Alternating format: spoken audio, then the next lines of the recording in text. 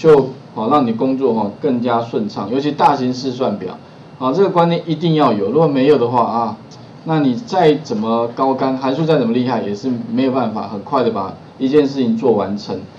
好了之后的话，接下来的话函数部分哈，那函数我们刚刚的这个公式哈，呃做完之后，你可以把这个地方再把它复制一下啊，这个地方你可以把它复制另外一个哈。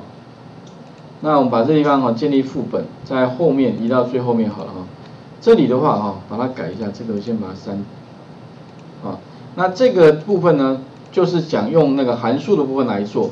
那函数部分的话呢，我们在那个我们函数里面有一个 f_v 哈，future value 哈，就是我们未来的价值的一个函数哈。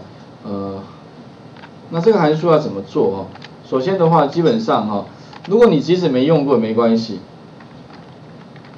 就把这些范围删掉哈。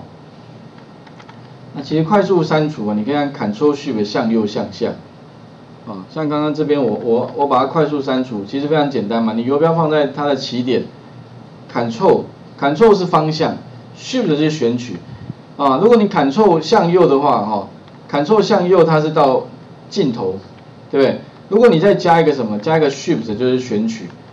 对不对？选取把向右的范围选取，再向下的范围选取，那这个范围就整个选取。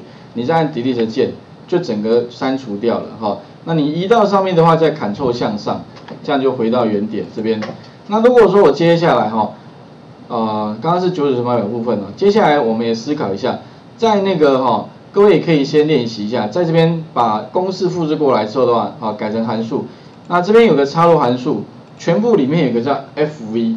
我想这部分各位也可以练，先练习看看 fv。那这个函数啊，假设你完全没使用过，也不用没有关系。为什么呢？我前面讲过嘛，它后面都有参数，有没有？总共会需要几个参数呢？一二三四五，对不对？那这些呢，有跟跟你说明。另外，如果你不清楚也没关系啊，函数说明你把它按下去，它里面也跟你讲说怎么使用。也就是说呢，你只要哦看得懂它相关说明、相关参数的话。其实无论哪一个函数了哈，都会用。也就是说，其实你们要学的应该哈，如果函数分应该是学如何使用函数，而不是如何去背什么样使用函数了。因为反正这么多函数，你可以见招拆招哈。那这部分的话呢，请各位先试试看，如果不用公式，用 FV 怎么把这个部分做出来？等一下我再说明哈。画面先还给各位一下哦。